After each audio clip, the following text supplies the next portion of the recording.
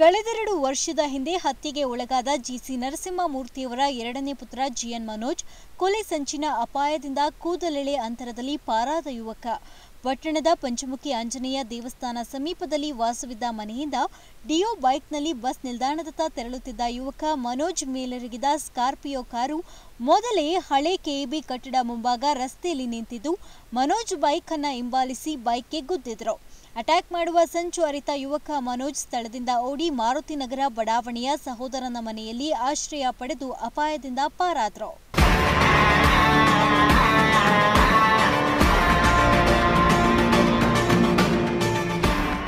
ಬೈಕ್ಗೆ ಗುದ್ದಿದ ನಂತರ ಓಡಿ ಹೋದ ಮನೋಜ್, ಯುವಕನ ಬೆನ್ನತ್ತಿದ್ದ ಕಾರು ಆಶ್ರಯ ಪಡೆದ ಮನೆಯ ಮುಂದೆ ನಿಂತು ಅಟ್ಯಾಕ್ ಮಾಡುವ ಸಂಚು ಹಾಕಿದ್ರು.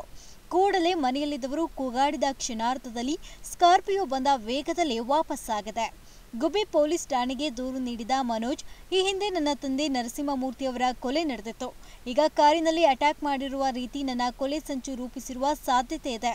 ಕೂಡಲೇ ದುಷ್ಕರ್ಮಿಗಳ ಮೇಲೆ ಕಾನೂನು ಕ್ರಮ ಜರುಗಿಸುವಂತೆ ದೂರು ಸಲ್ಲಿಸಿದ್ದಾರೆ.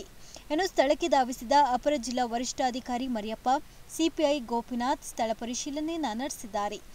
ತಂಡವೊಂದನ್ನು ರಚಿಸಿ ಸಿಸಿ ಕ್ಯಾಮೆರಾ ಫುಟೇಜ್ ಅನ್ನು ಆಧರಿಸಿ ತನಿಖೆ ಚುರುಕುಗೊಳಿಸಿದ್ದಾರೆ. ರಂಗನಾಥ್, ಅಮೋಕ್ ಟಿವಿ, ಗುಬ್ಬಿ.